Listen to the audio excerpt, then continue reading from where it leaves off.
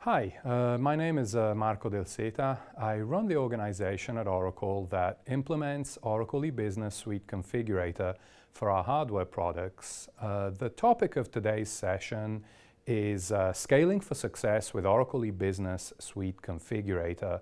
Uh, we are really going to talk about uh, some of the challenges that Oracle has overcome in implementing eBusiness Suite Configurator, some of the lessons and best practices that we've learned um, through the years uh, as the application has grown within the company. Uh, Oracle has obviously been growing um, by purchasing a lot of hardware companies. That has expanded the scope of products in the system. Uh, we have also grown in terms of capabilities that we offer. Uh, we have shown uh, and demoed mobile UI in a previous session. Uh, that's been a big uh, incremental project. And one of our objectives is to grow the application implementation both in size and in capability while maintaining optimal performance as well as uh, not dramatically increases the resources needed to do that. Uh, we will talk today about how we do this and um, give some pointers and lessons uh, that we believe will be of use to Oracle eBusiness Suite Configurator customers. So uh, let's uh, walk through the program agenda. Uh, we will touch on five topics. Uh, we will give a general overview of uh, how big is Oracle Configurator at Oracle today. we will then talk about model management at Oracle, uh, model management is a relatively recent configurator capability that allows us to grow the number of products that configurator serves while um, basically keeping a uh, optimal performance in the system. We'll discuss a little bit how it works, how Oracle has implemented uh, this capability, and what we do to monitor and keep it uh, as efficient as possible. Uh, we will then talk about data management at Oracle. Uh, we will cover some of the challenges that we have overcome with Configurator in managing our data growth, uh, the growth in size of our footprint, uh, what kinds of things have we looked for to improve and um, keep the footprint small while increasing more and more what the tool does. Uh, we will then speak about the trade-offs between rules and configurator extensions, um, Oracle implements a sophisticated version of configurator. It uses a lot of extensions. Uh, we'll speak a little bit about some of the trade-offs between rules and extensions in terms of gaining efficiency for uh, configurator deployment times, for how quickly we can make changes, uh, we will also cover a little bit some of the things we have done to our data in relation specifically to configurator extensions and walk through some examples that show how uh, proper management of data that extensions use can significantly affect how big the footprint is. Uh, finally, we will talk about test automation. Uh, one of the critical aspects of um, uh, doing frequent releases for configurator and keeping them at a very high level of quality is to uh, optimize your testing strategy. Oracle has developed a set of tools and capabilities around the test space that significantly help uh, in um, speeding up the testing and the coverage of the testing that we do. Uh, so we'll run through that a little bit and explain what we do and how it impacts both our timelines and our quality. So let's begin with uh, a general overview of our implementation. Um, how big is Oracle Configurator at Oracle today? Uh, we have 153 models which we support in our production implementation. Uh, we do one release per month uh, we drive anything between 120 to 150 changes per month into each release, covering anything from new products to redesigns, major or minor, to very small tweaks and changes. Uh, last quarter, for example, saw five new products worked on uh, that Oracle released as new hardware products, and some products uh, having 10 plus changes in any given release. Um, we run over 50,000 automated test cases per each release. Uh, this allows us to achieve near perfect quality measured and less than five out of cycle fixes needed on average per release. Um, in terms of usage, uh, we are running at around 220,000 configurations. Uh, this was last quarter at an average of 3,500 per day.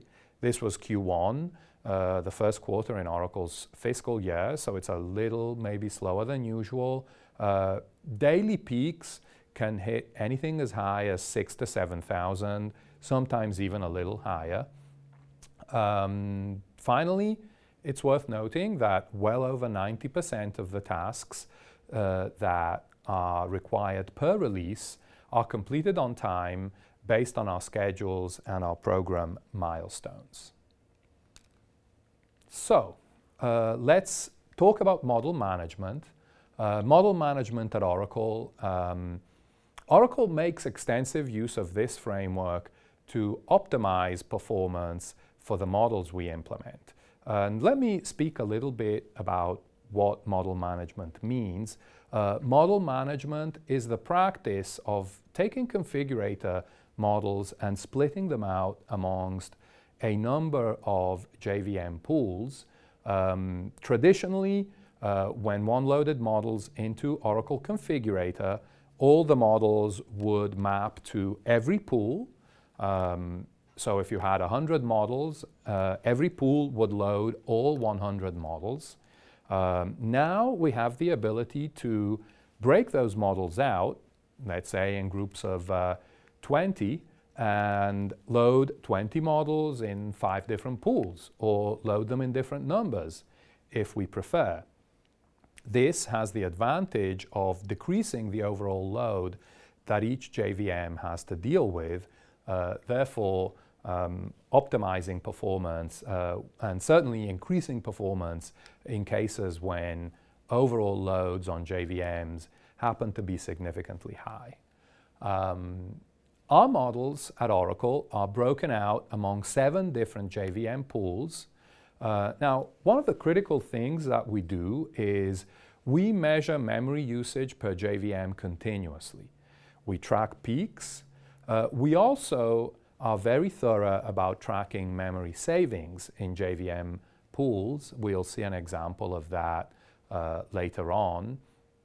Um, another thing we do uh, that we correlate with that is we measure the number of configurations per every model constantly, and we then add them up on a per pool basis in specific windows of time. Uh, let's say we may look at how many configurations we did for each model um, in the peak two weeks of a given quarter. Uh, we do this constantly, reassess it, and trade it off with um, the measurements that we make of the peak usages on the JVMs from a memory standpoint. And then once or twice a quarter, depending on the quantity of product changes and the way that the business conditions shift, uh, we will rebalance the pools. Namely, we will look at which models were assigned to which pools and maybe change them around so that uh, going forward, um, given that we know we have some new products coming in, some of the older products will be used less, uh, we can still support optimal performance. Uh, the general message is that uh, you cannot make model management a one-time exercise. Oracle uh, realized as we were working with Oracle eBusiness Suite Configurator that sometimes products and models are used a lot, sometimes that usage decreases, and other products are used more. Uh, if you don't rebalance, uh, you can still create less than optimal conditions on your JVM pools. So we have put together essentially a number of tools uh, that lets us um, monitor all of this and make these decisions based on ideal data sets. Um, now, this approach does require more memory in our infrastructure, yet has really benefited us by significantly improving the performance of the tool, and we are really helping eliminate any potential JVM bottlenecks that may happen uh, at peak configuration times. Um, let us look at a diagram. Uh, for example, uh, this is a diagram that uh, outlines uh, our different pools. Um, the green bar shows uh, peak memory usage um, on uh, each of our JVM pools. The blue and um, orange bars show um, more standard heap size, uh, heap usages and heap sizes for each of the pools. Um, so again, this is one of the diagrams that we uh, frequently generate and review in order to see uh, where we are with uh, overall system. Uh, you know, these peaks are within what you would expect to see. Um, the other bars give us a better idea of what the standard usage is on the system outside of peaks. And in no cases do we uh, end up significantly crossing uh, or shooting up high and creating problems, which is essentially what we are trying to achieve through model management. Okay, so much for model management. Uh, let's now talk about uh, data management at Oracle. Um, needless to say, a little is a good thing with data. You want as little of it as possible. Um, now, a little bit of an overview on uh, what our models look like.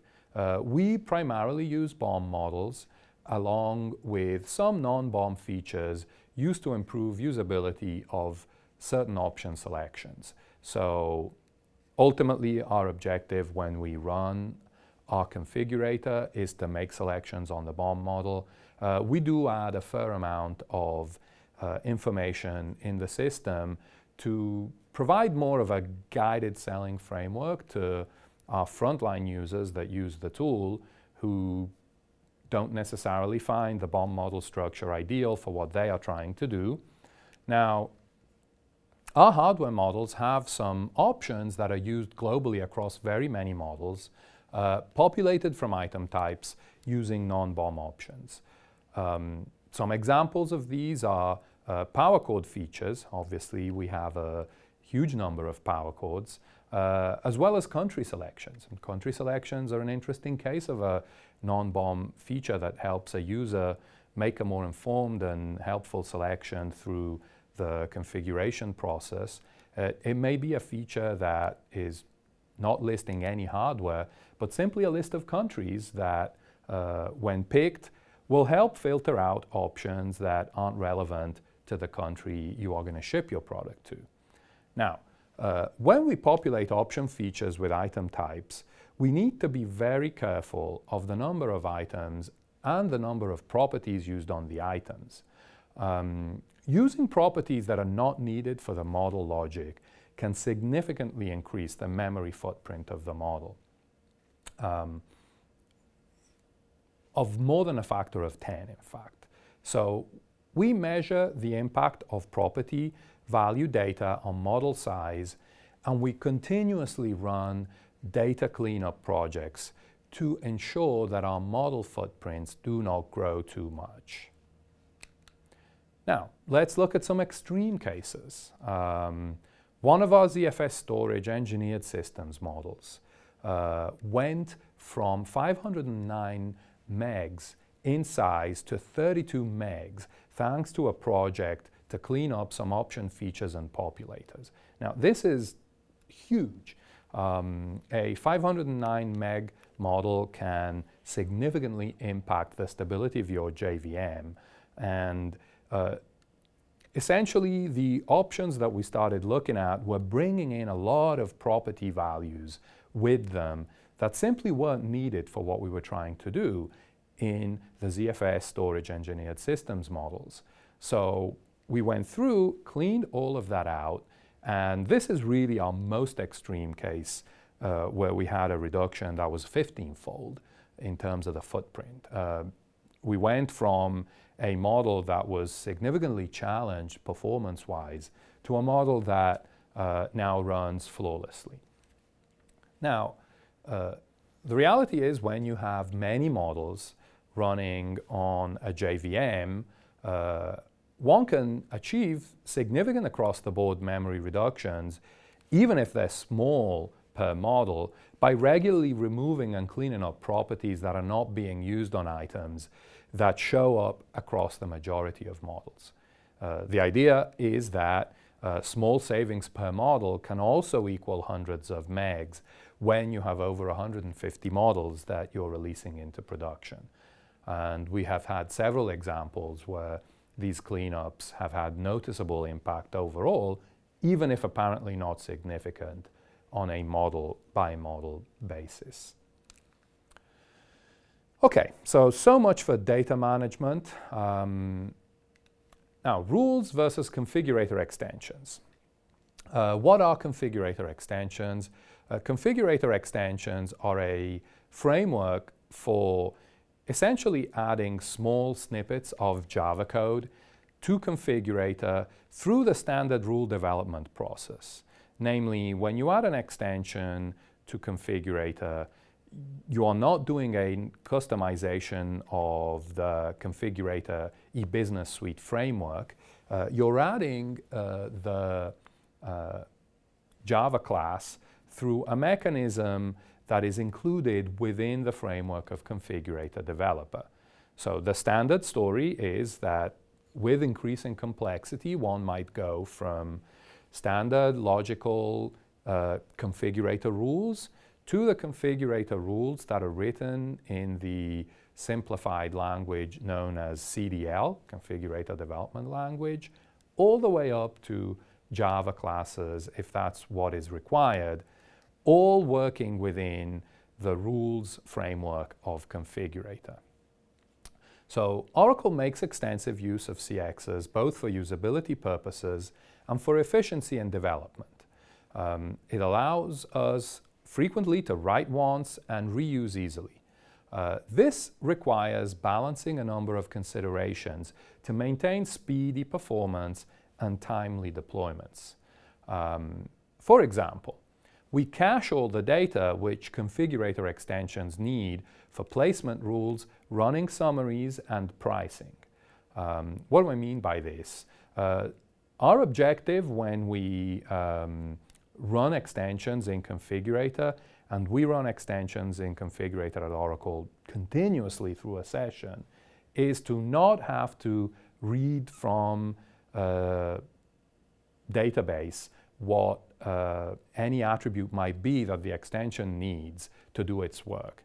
We want that data to be in memory, so we cache it, and that way our CXs, which used to run in batch at the end of a configuration, can now run all the time with no performance impact. Now, each model has its own set of data. You cannot use a singleton on a JVM if you leverage archiving, which we do to simplify how we release configurator extensions in our models. Uh, as a result of this, to optimize the performance for a model, we went through an evaluation exercise and decided that we should only load data that any given model uses. Uh, we would initially, for example, take the pricing data that all our models need and load it all with each and every model. Now, most models use only a very small subset of items that will need to be priced as you make selections in Configurator. Uh, we found that by slimming down the item, the item pricing that we load to only the items in that model, that significantly reduced the footprint of the model itself. And this applies to all the data. We started out doing it with pricing, but then we looked at all of our models that use uh, CXs which read their own data and scale down uh, for all the models to just the data that they need. Um, so this is certainly an example of how this can impact. Uh, this is a before and after diagram uh, on the set of data uh, for one of our models, JVM pools, after we did a reassessment of our CX data to achieve model-specific caching. We basically halved the footprint, standard footprint at runtime on our JVMs by going through this exercise. So it's a huge reduction, 1.3 gigs less average load on our JVMs after we did this. Now, uh, another example of where configurator extensions can be traded off, and we're going to shift the conversation a little bit here. We have talked so far primarily of uh, sizes of models, footprints of models, and these impact performance primarily of your models. Uh, for us, scaling and being able to grow what we do is not just about maintaining performance. Um, our success is also dependent on our ability to uh, make the changes we need to make quickly and to a high standard. Um, one example where making some trade-offs um, can significantly help that is uh, where we trade off rules versus configurator extensions. So we sometimes use configurator extensions to make our development process faster and more data-driven when it makes sense. Sometimes a simple configurator extension can do the job of a number of rules in a more condensed fashion. If the same rule set is required in many instances, even say many times in each model, Running a configurator extension which reads simple attributes makes it a lot easier to write the rule and maintain it by then maintaining data. We don't have to rewrite that rule uh, every time a new instance is added. The extension runs and knows that the rule is needed for certain objects in the model. And provided that the right attributes are set up, um, that significantly speeds up the time for developing, say, an abstract rule capability in an implementation context. Now, uh, what is our paradigm extreme case for this example? Well, we had a situation where we were writing rules somewhere in the order of about 5,000 of them to handle a standard functional requirement. Uh, these rules were obviously spread throughout our 100 plus models, about 100 of our 150 models, uh, so we were looking at at least 50 a model, sometimes many more. Um, these rules also changed all the time, and we had to go in, open up the rules, and play with them in order to essentially maintain them. Now, what we did is we replaced all of this with a simple configurator extension and a very straightforward, easy to understand set of data attributions that allows for total attribute-driven maintenance. So now, when we need to maintain uh, some of these uh, rules and change them, improve them, add them from new products, all we really have to do is change a small piece of data and everything flows through seamlessly. So a significant improvement in the time that it takes for us to uh, do uh, what is one of our most regular cases of maintenance in our models. Okay. Um, final topic, uh, test automation. Uh, doing more and doing it perfectly. Um, test automation is really the key in many ways to deploying 153 models once a month. This means deploying configurator on a regular date without schedule fails or postponements. Test automation has also allowed us to address any issue within 24 hours, even less when bureaucracy is removed. Now, the first ingredient of an effective test automation methodology is to have a framework for the simple and rapid design and maintenance of test cases. So, you know, we have a number of folks, uh, they're not primarily developers by training who do the testing for our products. Um, we didn't want them to have to uh, do anything too complex in order to create and maintain test cases. Uh, so what we did is we've designed a very simple language, pseudocode if you like, for non-developers to put together configurator tests. Uh, without going too much into the capabilities of this, it basically allows us to train non-technical folks very quickly um, in a couple of, in a few weeks uh, to do all the maintenance and setup for the test cases that are needed for our products. And this obviously has significantly improved our ability to be effective at uh, uh, running test automation as a whole. Now, the second ingredient, of course, is an extremely fast execution framework.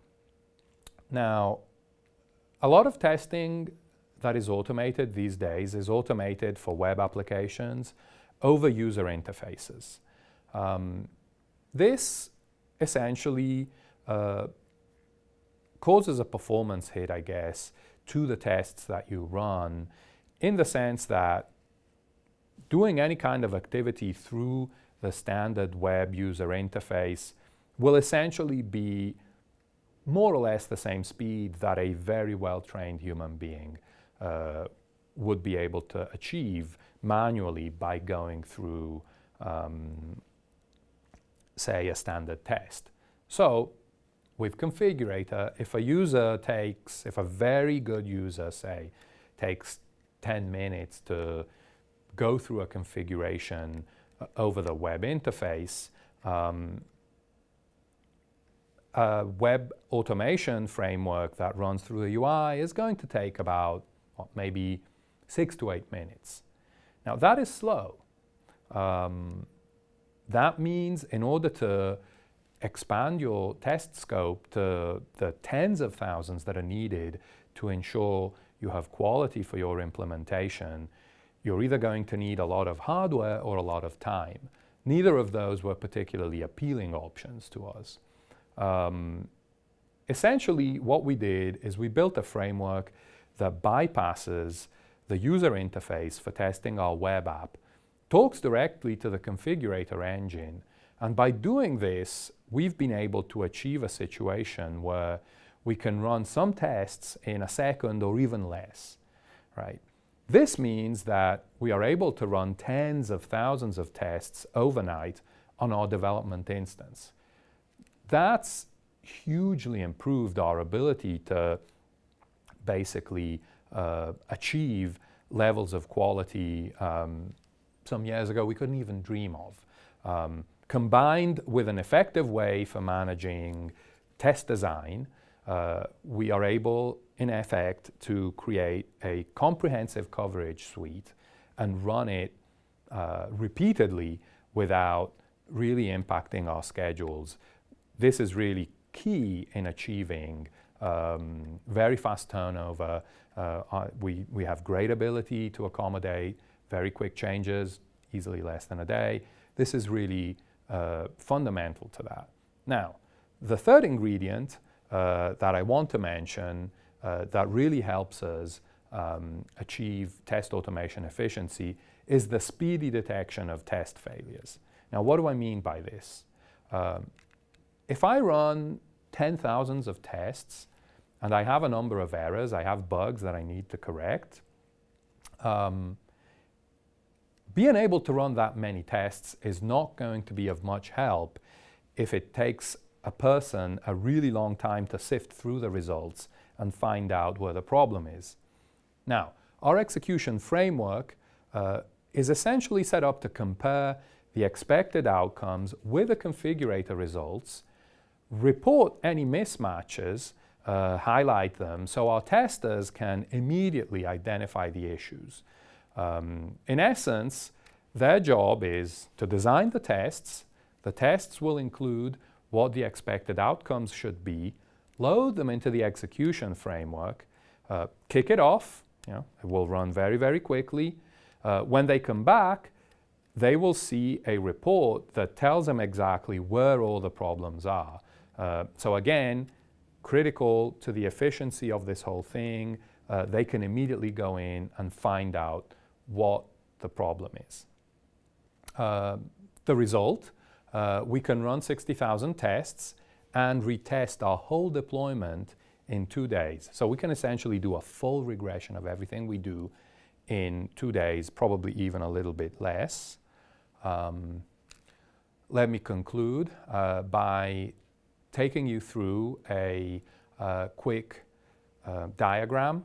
Uh, this diagram shows um, the frequency of tests executed over a standard um, Oracle configurator monthly release. Oracle releases its hardware products um, once a month officially. Uh, so we align our schedules to the general availability dates. Um, peaks, as you can see, uh, can be as high as 25,000 in a single day. Each of those bars represent a day of uh, work day of activity during a month. Um, clearly, we don't ex execute the full 60,000 tests in two days typically because the work throughout the month varies around. Uh, in fact, we'll typically execute many more than uh, 60,000 tests, but our peaks can go as high as 25,000 in a day, and that is pretty much running our test system at full bore. So, in conclusion, um, just summing up, uh, we've talked about um, the size of Oracle's configurator implementation. Uh, we've talked about a number of capabilities we have put in place uh, in order to manage the growth of that implementation, uh, keep it fast, keep our releases frequent, keep them at a high quality.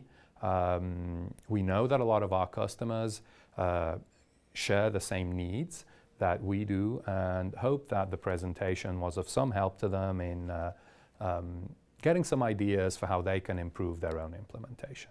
We talked at the beginning of the presentation about how uh, one of the significant ways in which we have expanded our capability recently, scaled up and scaled up successfully, is by introducing a mobile version of uh, Oracle Configurator that will be available for everyone to see and use. Um, so right now, I would like to uh, share with you, as an example, a video that we have made that shows how both the current UI work and how the mobile UIs uh, are intended to work. Um, it will be captioned and essentially give you a feel for how the new UIs, the mobile-based UIs are pure mobile, how the co content and controls change, and uh, just generally give you a sense of what I was referring to at the beginning of the presentation.